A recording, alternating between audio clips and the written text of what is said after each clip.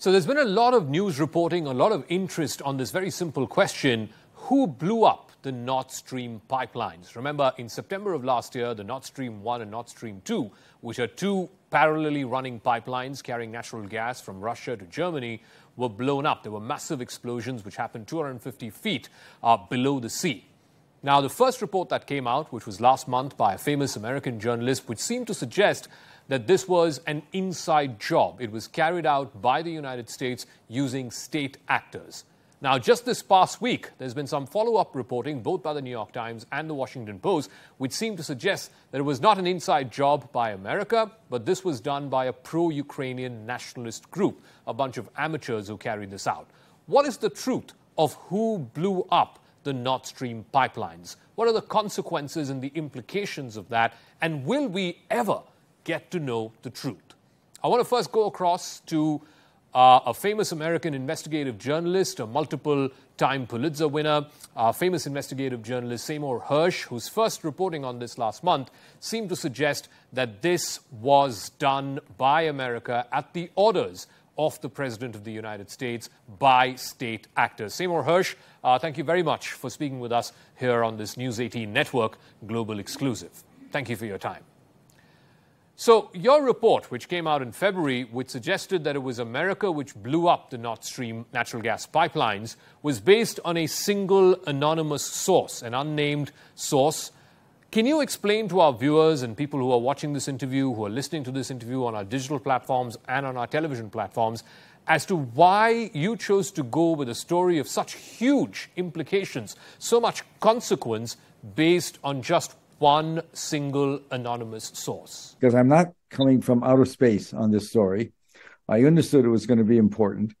Um, um, and so last fall, in, the, the pipelines were blown up September the 26th last year. Yeah. And um, I, there was no way, common sense, you have to deal with common sense. Well, let's see. I knew that no Russia would have done it because uh, Putin already had responded. There's two major pipelines: Nord Stream one, which has been alive for since 2011, and Nord Stream two, which is these are huge. They move millions of whatever the measurement is of um, natural gas. Uh, there is a different measurement, and um, it's not cubic feet. It's they they they move in. They Nord Stream one turned Germany because it supplied cheap natural gas that was very clean more than they needed it. Anyway, I'm just giving you all this because I'm not. you I can answer your question, but I'd be coming from the blue, and I don't want to come from the blue. I want people to understand I've done this a long time. So, the White House, Mr. Hersh, they have rejected your story outright. They've called it a figment of your imagination. More fiction than fact is the wording that they used. Germany has also taken a very cautious line on your story. Uh, you referred before uh, in your first answer to Western media like the New York Times, the Washington Post, uh, had you taken your story to the editors there, would they have published such a consequential story basis just one single unnamed anonymous source? How would you react to that? The source, what I, the way I described the story, and the intent of how I sourced it, was to be as as vague as possible. It, it would have been very dangerous to have mm-hmm. somebody it would be dangerous for anybody telling me this story to be in a meeting because the one thing my government can do well is find people. And I, I, think it's very important when I say I've never burned anybody. So I'll take the heat on the question of sources. What mm-hmm. I said was uh, somebody who had had had had access to information, and that could be a million people. And so the story simply is I asked the question last fall in October the pipeline was blown up in September. Common sense said that since Putin himself had ordered the first pipeline to be shut down in anger at the at the language of of uh, the Biden White House, the the this is before uh, this is before there was any talk of a, an invasion of Ukraine. The language from the beginning was very rough, and as it was towards China. The second pipeline was brand new. It's the first one I said started in 11. The second one was built uh, because there was a need for gas. We, Germany was retailing. Call, it's calling down down. Uh, they were selling it downstream. They were selling Russian gas. They had so much at such a cheap price. They were selling to, to distributors in Western Europe, and Russia looked away. It's okay. So the second pipeline called Nord Stream 2 was completed in about late 2020 or late 2020 when things were already tense, when Russia clearly was, Putin had said, I've had it. I'm going to, he's already considered the Ukrainians to be a sub level, you know, serfs. The only reason I can explain for blowing up the pipelines that uh, he had a team study the issue. I wrote about this in, in the articles I wrote for the Substack group for them in four weeks. Uh, he had a team there very early, be, be, uh, uh, before the war began. He wanted an option.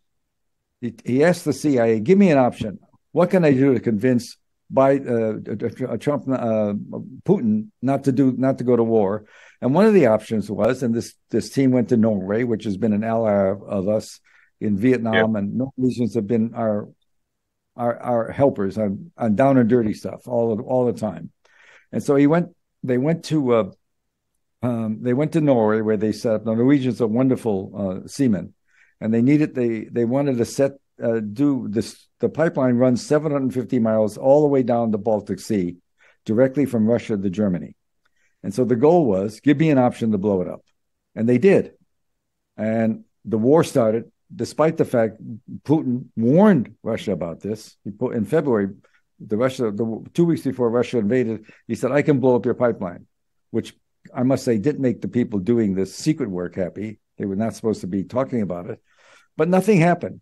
They did put the um, uh, they did put mines in place. Very difficult to do. It's a big pipeline, steel pipeline covered by a concrete cover that's as tall as high as a man, six feet high, to protect the pipeline from the, the salinity for oil, the the, oil, the salt and water in the Baltic Sea. Anyway, so they they did the job, but once the war began, the the people in the community didn't didn't think he would do it. There was no reason anymore to do it. In September, he gets a briefing. The best I can tell, why September the 26th? I don't have a good picture, but I know for the first time the intelligence was saying it's going to be a long war. He decided then to do it. And he had set it up so he could just say yes, and a day later it would blow up. There's a yeah. way of setting mines. They work by sonars, low frequency. Uh, you can blow them up. You can do it. It's a tough thing to do. And so, why? And at that point, what he was deciding is this is going to be a long war. It's going to cost a lot of money. I'm going to go all the way. He's now moving a lot of American troops and equipment into Poland. I, I don't know if he's going to commit NATO to it. I don't know if NATO wants mm-hmm. to go. But he basically gave Chancellor Scholz, took away the option of Scholz to say, I'm going to stop giving him arms. Winter's coming. I want that pipeline. I want to keep my people warm and wealthy. So he blew it up. Now, Mr. Hersh, just yesterday we had the New York Times put out a story, and then it was a follow-up was done by the Washington Post. Both of those stories seem to suggest that the Nord Stream pipelines were actually blown up by a bunch of Ukrainian nationalists. They had no connections to either America uh, or to the White House, the Biden administration, or even, for that matter, to the Zelensky regime uh, in Ukraine. So, in a sense, the story by the New York Times and the follow up by the Washington Post, it kind of contradicts your story, which said that it was American state actors who carried out this attack. Those two reports suggesting it was Ukrainian nationalists, perhaps a bunch of amateurs, uh, who, who carried out this attack. How do you respond to this seeming contradiction? Because both of it cannot be true. Well, you could imagine it certainly contradicts my story. I, am amused that it was unnamed sources because that was the basis for not attacking. Like you began your story with unnamed sources. You know, how can yeah. you have it? It's a mean. That's why I wanted to do my little speech because it's not something I spent three months doing this, and you can you can you know the how I source it is as minimal as possible. I'm not suggesting anything more than that. I'm just very careful about it, and I don't want to talk about it. I, I was asked that question by maybe 50 times yesterday by the press. You know, this has been a big issue. And uh, what I've said to everybody is, well, if you want to know the truth, I always thought the real outside person, the country that did it would have been Somalia. That's what I said. And you can take that for what it is. Now, obviously, Mr. Hersh, you're being sarcastic when you say that Somalia was behind the blowing up of the Nord Stream pipelines. But I want to ask you on a more serious note do you believe that this story that came out this week, put out by leading American newspapers and websites, was a story that was put out to divert attention from what you put out back in February on, on Substack, on your Substack uh, channel, as it were? Why do you believe this article, this news report has been published by the Times and by the Post? Uh, why do you believe what they have put out is less plausible to have happened than your story, uh, which, in which you claim that it is uh, the American state and American state actors who blew up the pipelines? The only thing I can say is um, it, it, it's a story that's so crazy that I, I had to deal with just what? Uh, a group of Ukrainians. Um, uh, uh, do, do you know what it takes to use C4 to blow up a pipeline that's covered by a concrete shield. You know the much of power you have, the skill you have to have. The team that was involved that started working in Norway with the CIA and other agencies, they practiced for months, and they got the best divers they could get from a, a, a very su- superior training center in Florida. It's a weird place to be. I started my story with that place. It's it's way out of the way, but they trained the best divers. And you know what divers do in America? They do good things they blow if there's a, a, a harbor that's blocked, they can go down and blow it up. They know how to use plastiques. And so the idea that you can train some guys from Ukraine to go do this 260 feet below the water, the surface, where to go down, the diver has to stop every 90 feet because otherwise you get bends. And, and then you have these four large pipelines to know what you're doing is so hard. And so whoever whoever thought up that story in the White House or wherever it is, my problem with the people that are in the national security business, uh, Blinken, Tony Blinken, Secretary of State, the guy that wouldn't go to China meet his counterpart because of a balloon, they're so hostile. And Jake Sullivan, the national security advisor, and, and Nuland, I call them Winken, Blinken, and Nuland for the, the the children's story. They're way over their head. They're just not. They may have great degrees from the best universities, but they're just not very smart when it comes to common sense. The president of the United States could have asked the CIA, the NSA, um, something called the Major Office for Intelligence, it's called the ONI, Office of National Intelligence, which is the top dog, and they have an Office for Intelligence. He could have tasked them all to tell me who did it, because we have such access. We can we can we can go back and copy conversations, pull up conversations that took place two, two years ago and replay them. That's how much security we have. We copy everything. Mm-hmm. But he never did it. You know why he didn't do it? Because he knew the answer. Of course he did it. And he can write all these stories. The Washington Post did one too, but in the same idea. The problem with the story is for them, they never acknowledged my story. The New York Times, the Washington Post, the White House. The White House mm-hmm. denied it. And the cable companies, you know, Trump changed America. Trump, you you were either for Fox News or you were for CNN and MSNBC. And that's the way it was divided. And so I come down with this story, and I'm not Trump, but I'm not, it's a story not friendly for Biden because the implications for Europe are horrific. And I will tell you, this story has not stopped cooking in Europe. That's what kept it alive when the American, the American press never wrote about my story at all. A lot, I, I, got an awful lot of attention, I'll tell you that. And that's why this story has traction because my country is really worried about this White House. Now, as per your reporting, there were multiple players involved in this top secret operation. You had the president's office, you had uh, the National Security Advisor's office, the Secretary of State's office, and of course the Undersecretary for Political Affairs. All of them were involved from the American side. You also say in your report that the Norwegians were directly involved. So it was not just the Americans, the Norwegians were directly involved. You also say in your reporting that the Swedes and the Danes had also been briefed about it. It happened on a, off an island uh, that is close to both Denmark and Sweden, controlled by Denmark, of course.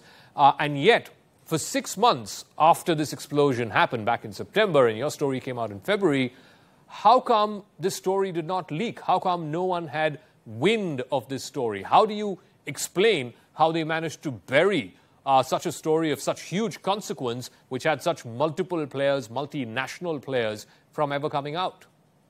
Well, first of all, um, there weren't so many players. There were two miners, two divers. They the people could go down. It was in the military chain of command. It it didn't. It was if it was in the special forces, the SEALs, or the C, the CIA alone.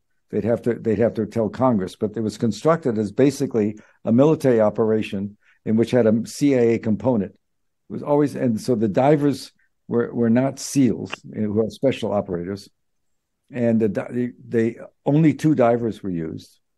You know, they, that's how skilled they were. These are people that had spent 20 years doing it, and they're tough. They don't talk. You know, this the divers always the Navy divers that are good always joke about the American Navy SEALs, you know, the commandos, the, they're heroes. They say they're they're like um, swimmers, and they talk too much. you know, they go on television and they write movies. They're always in movies about some SEAL doing that. You won't cite a movie about a Navy diver. And so they're very good. They keep their mouth shut. How many people have to know? You have to deal with the Norwegians. And a week after I did this story, I did I did something called Substack. I, I publish when I want. I publish I publish every Wednesday a piece once a week, and you get an audience that way. And I, I you know, I, I the people have to pay, you know, and it's not it's a different thing. And um, uh, the Norwegians have always been our boys. They they were in Vietnam long before the war. The North Vietnamese went in. We were doing operations with Norwegians driving our SEALs into the in off the coast of Norway. The American SEALs would go in at night and try to blow up radar installations, uh, cause trouble domestically, you know, with, with, food props and stuff like that. Um, bef- long before the war was declared, we wanted North Johnson wanted North North North um, Vietnam to do something aggressive. The war was going on in the south and it wasn't going well in '64. He wanted to take the war to the north and start bombing. And they finally had invented, and it's a famous story, they invented a, a, North Vietnamese attack on an American destroyer that didn't take place. And they lied about it. And Johnson went on television. He got con- said, I'm, I'm going to respond. And America said, yes, yes. You know, we're all very jingoistic. We're all jingoistic at heart. And if somebody kicks me, you want to kick back. And the war started on a false premise. The Norwegians were all over that. I have photographs of Bill Colby, the head of the CIA, who used I tangled with a lot in the 70s, uh, uh, working for the OSS, the American Office of Strategic Services, you know, the underground people that worked against the Germans. I don't want to make light of it. This is a serious thing. But what the White House has done is just made us stumble in their panic. All if they want to find out what happened, just ask their CIA or ask officially ask. It's called a task. You send a tasking order. That means that the president, everybody jumps up, aye, aye, sir. But they haven't done that. Why haven't they done that? Do you really think Putin, who shut down one pipeline, is going to blow up with the other one? I mean, who thought that? Nobody. And uh, so, who who else could have done it? That's why I was, you know, I, I can't think of who. I can't, you know, Pakistan. Right. You know, so keep on going. What else? I, I I I know I should be more serious about something like this, but I've been there and done it. When I wrote the Lai story about the massacre, more than half the country thought I should be, you know, hung up to dry because how could I be a traitor? You know, I, am exaggerating slightly. They didn't believe the story. And I've done that before. I don't do what I do lightly. And once I learned, I knew how to get the story because I've been right. around long of tooth. All right, Mr. Uh, Seymour Hersh, thank you very much for your time and for your insights. Uh, we leave it to our viewers to decide uh, what the truth is on who uh, brought about these explosions uh, and how it exactly happened and uh, what was the consequence of it. Thank you very much for speaking with us here on the News 18 network.